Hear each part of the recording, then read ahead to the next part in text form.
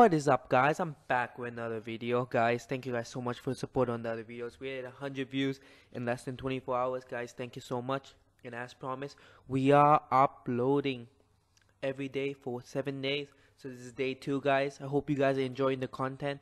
And today guys, have something very special. Some of you guys have been requesting that I do release Pixel Experience Android 11. So guys, here it is for you guys. So guys, I'm not really going to talk about any of the features, just talk about the GSI in general. So guys, if you're looking for a stock experience ROM without any bugs, very smooth experience with the Google launcher, everything very snappy, go with the Pixel experience. I'm telling you guys, the best stock experience GSI out there right now you know last video I talked about Havoc OS it's the best for Havoc OS is for those people who want to change their phones who want to add new features change the colors icons. You can also do that here but Havoc OS has some more tweaks. But if you're just looking to change some colors icons some notification settings then Pixel OS is for you. It's very simple guys. This is for all my stock Android lovers. This GSI is for you guys so yeah guys i will be releasing the installation video tomorrow. So guys i just request one thing. Get this video to 10 likes and i might even release it sooner and get this video to 100 views guys.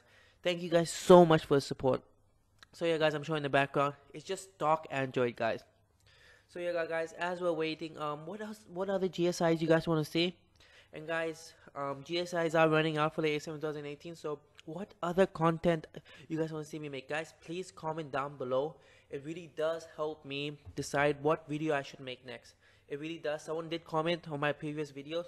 Please make a pixel GSI and now I'm here. I'm making it. And as you can see face ID does work. Fingerprint does work.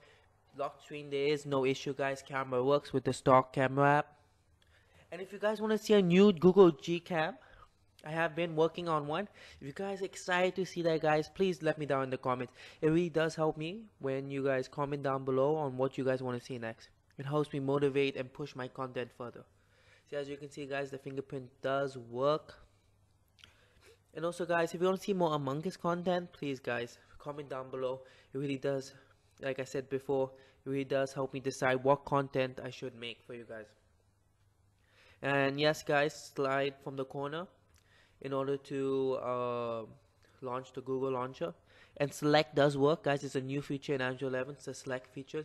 You select anything on the um, application and highlight it and copy and paste. It can be very useful. And so yeah, guys, that's it. We're coming to the end of the video, home screen settings. So yeah, guys, I hope you guys really did enjoy this video. And if you guys have any questions, please comment down below. And don't forget to like, subscribe, and share. And I'll see you guys on the next one. Goodbye.